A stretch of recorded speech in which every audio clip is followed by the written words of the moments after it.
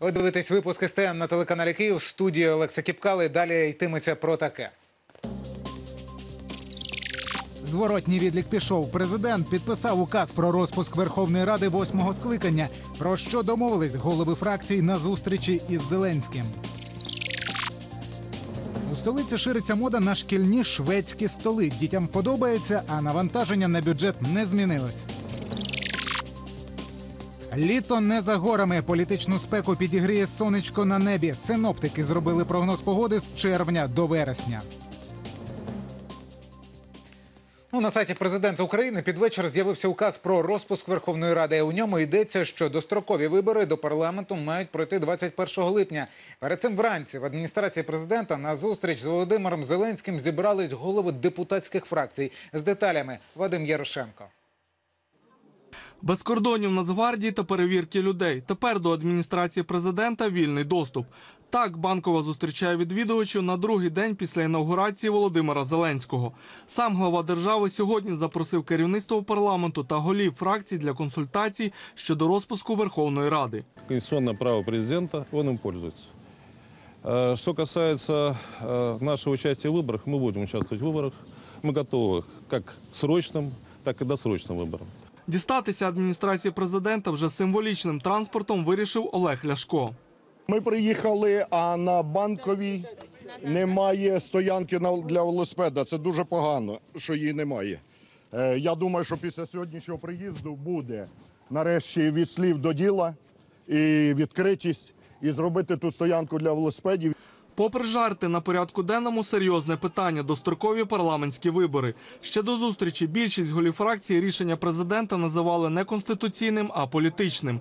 У народному фронті, який 17 травня вийшов з коаліції, зазначили, що говорити про дострокові вибори слід було після того, як закінчиться термін для формування нового союзу фракцій. всі підстави для розпуску або для розгляду і проведення консультацій щодо розпуску парламенту можуть бути лише після того, як сплине 30-денний строк. Я хочу президенту нагадати ці дві статті, і що він, як гарант конституції, не може підписувати антиконституційні укази. Сам Володимир Зеленський юридичною підставою для дострокового припинення повноважень парламенту вважає відсутність коаліції ще з 2016 року. А головним аргументом для розпуску Верховної Ради називає дуже низьку довіру громадян до парламенту, якихось 4%. Консультації за зачиненими дверима тривали майже три години. Окрім власне дострокових виборів, на порядку денному стояло і питання зміни виборчого законодавства. Але й тут виникли дискусії. Була присутня голова центральної виборчої комісії. Дуже чітко заявила, що стандарти ОБСЄ, які Україна має їх дотримуватися, ці стандарти ОБСЄ рекомендують країнам-членам ОБСЄ не змінювати виборче законодавство за рік до виборів. А що говорити про кілька тижнів до виборів? Та все ж в адміністрації президента наполягають на проведенні завтра позачергового засідання Верховної Ради, аби таки встигнути ухвалити зміни до законодавства. Можливо, будуть проголосовані зміни до закону про вибори народних депутатів, які будуть скасовувати мажоритарні мажоритарну систему вибору народних депутатів і залишиться лише пропорційна партійна система. Е, Ще одною додатковою умовою такою, з таких змін може бути е, пониження прохідного бар'єру до 3%. В сьогоднішньому парламенті є всі ті, хто в 2014 році, йдучи на вибори, обіцяв і розказував людям, що перше, що має бути скасовано, це мажоритарна система, яка призвела до узурпації влади Януковичем. На жаль, більшість депутатів уникали відповіді на це запитання впродовж п'яти років. І вже надвечір вийшов указ президента про припинення повноважень Верховної Ради восьмого скликання та призначення позачергових виборів на 21 липня. Вадим Ярошенко, Дмитро Кокотов, телеканал Київ. Тим часом війна не вщухає на Донбасі. Під час ворожих обстрілів поранення отримали троє бійців об'єднаних сил. Формування кремлівських найманців три рази вчиняли збройні провокації на Донецькому і Луганському напрямках. Позиції українських захисників обстрілювали з РПГ, великокаліберних кулеметів та стрілецької зброї. Працювали ворожі снайпери. Під вогонь російського окупанта потрапили околиці населених пунктів Водяне, Гнутове та Шуми. Ворог отримав адекватну відповідь. В Україні переймають голландський досвід роботи з правопорушниками. Одразу у двох районах Києва стартував пілотний проєкт із застосуванням альтернативних методів покарання. А в кожному районі столиці вже працюють центри пробації, в яких засуджені відбувають покарання і при цьому живуть вдома. Що збираються змінювати у рамках проєкту? Дивіться далі. Більше 20 років тому пані Валентина з подругами заснувала громадську організацію допомоги жінкам. З часом вона перетворилася на кредитну спілку, давали гроші в борг і отримували депозити. Саме їх під час кризи 2009-го не змогли одразу повернути вкладникам. В кредитах вже все видано, а люди хочуть зараз. І все почалися суди. Я ж повну відповідальність взяла на себе, тому що справді я її започатковувала. Так воно годиться. Пані Валентині за 70, і якби не існувало системи пробації, вона б на три роки сіла за грати. Жінці пощастило, адже суд врахував доповідь працівників пробації. Суд направляє до нас е, запит на те, щоб ми склали відносно вказаної особи досудову доповідь. Ми на основі, зібраних матеріалів даємо суду рекомендацію.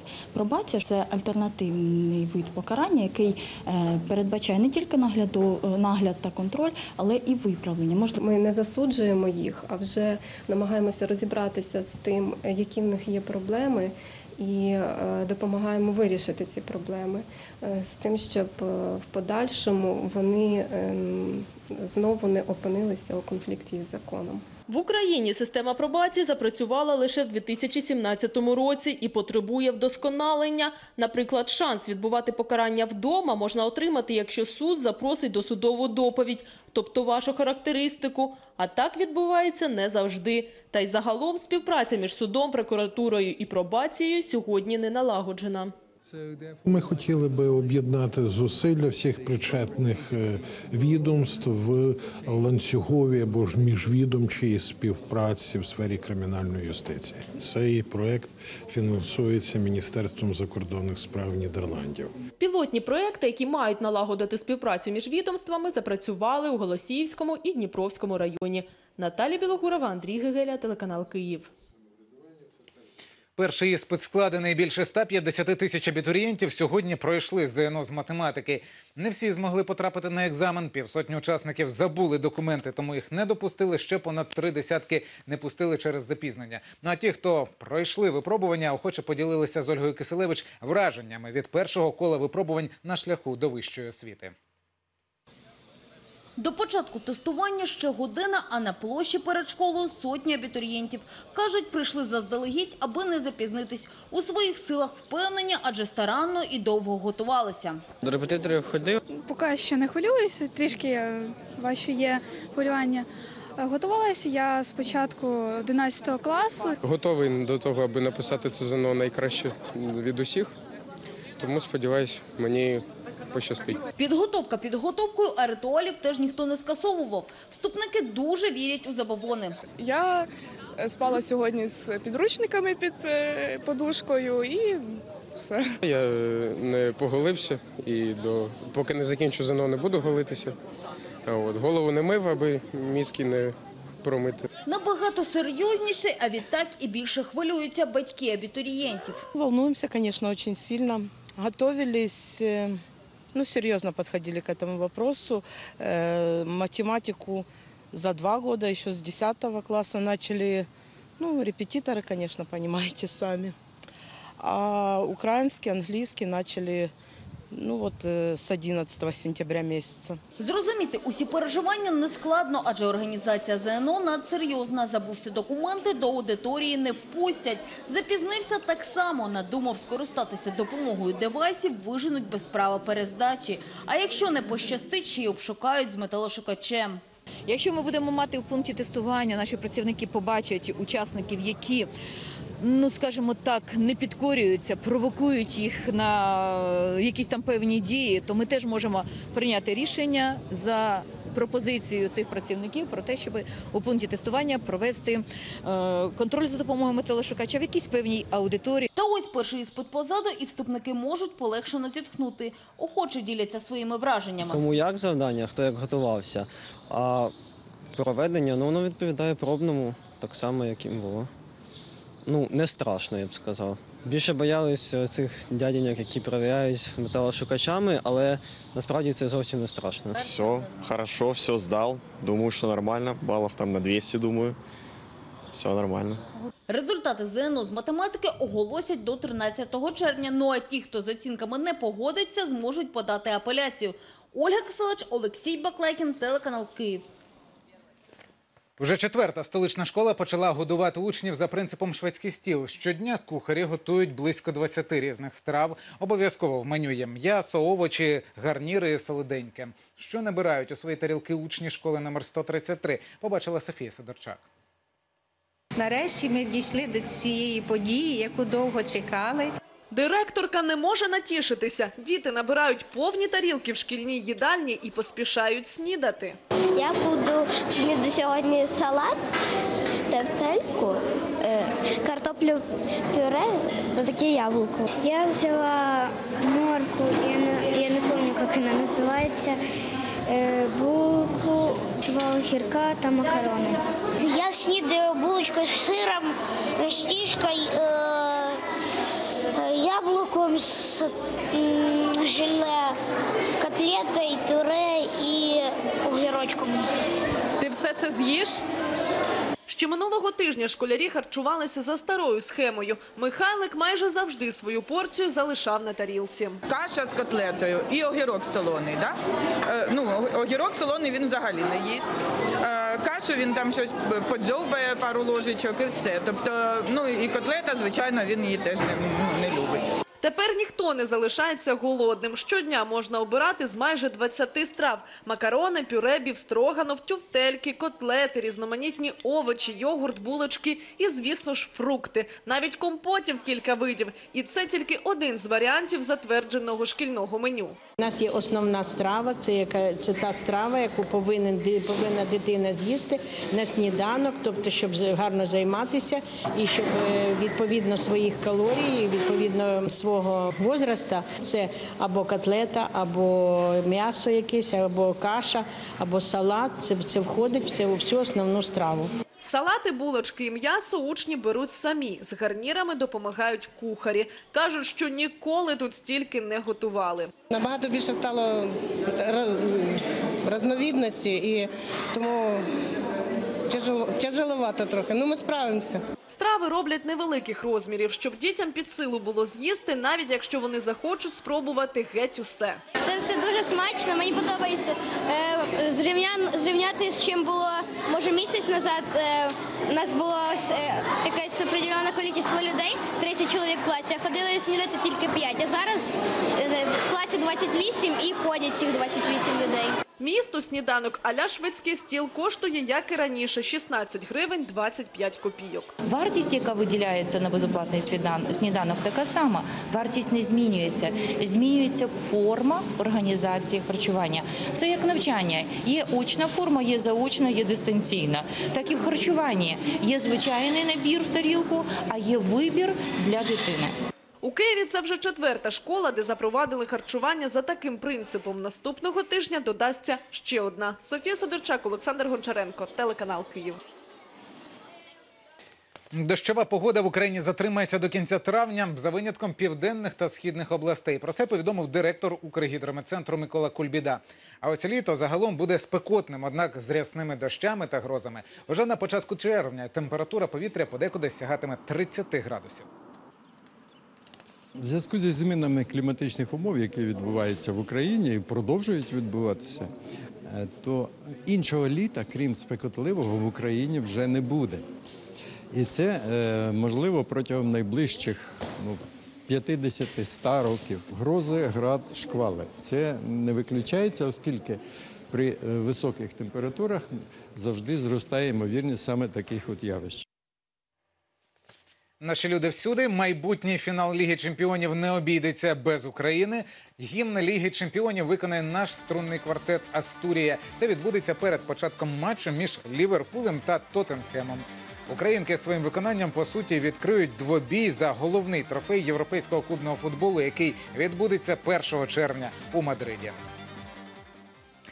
У мене все на цю годину. Наступний випуск о 21-й. Після блоку новин в ефір повертається Василь Климчук з програмою Київ Live. Я не сумніваюсь, буде дуже цікаво. Ну а зараз спортивну тематику продовжить Євгенія Золотоверха. Не перемикайте.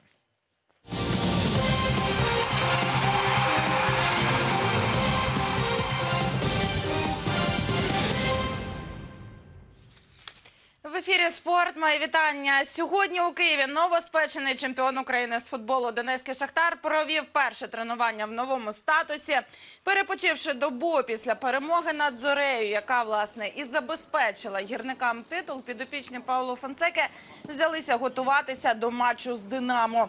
Той відбудеться завтра у Харкові. У діях гравців було помітно, що хтось з них не порушував ніхто е, після здобуття чемпіонства спортивний режим. Усі тренувалися в піднесеному настрої.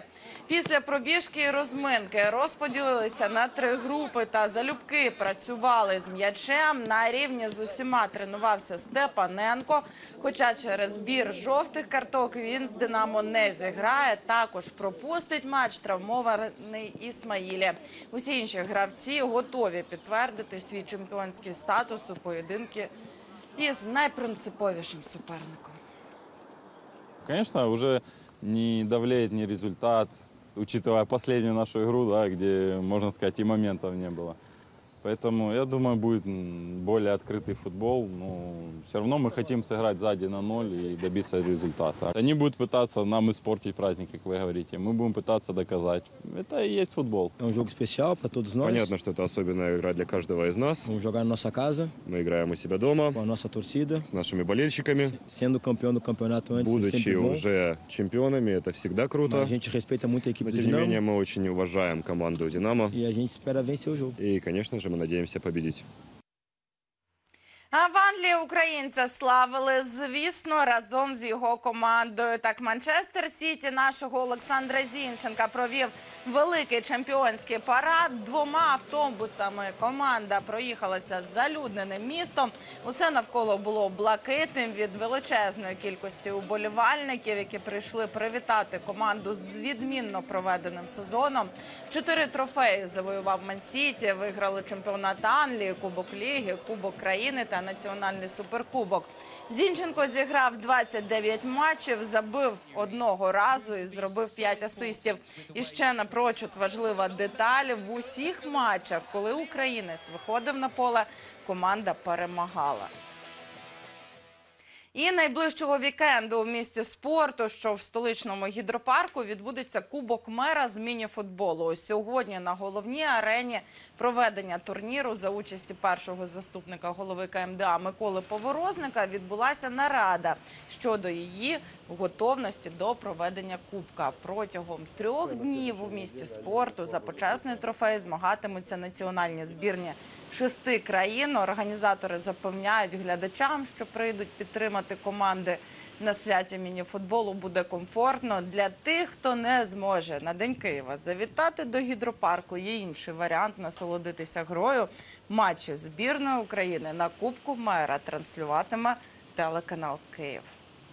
Всі, хто прийдуть е, на перегляд матчів, і не тільки матчів за участю збірної України, а всіх матчів, які відбудуться в рамках цього турніру, отримують надзвичайно велике задоволення е, від е, того дійства, яке тут буде відбуватися. Звичайно, крім того, крім футболу, тут є маса локацій, де можна абсолютно гарно провести час. Це буде вихідні дні, день Києва. Сподіваємося на гарну погоду, на гарний настрій і на чудовий результат.